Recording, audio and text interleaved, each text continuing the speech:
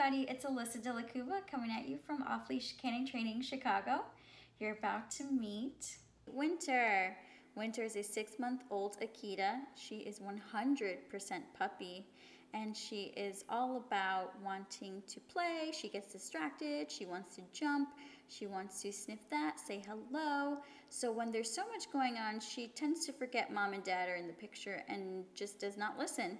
So we want to work on her recall. We want to work on basic manners so that way she can learn how to listen in the house and outside and also be able to walk on the leash and not drag you. So those are a few things we are going to work on in the next week.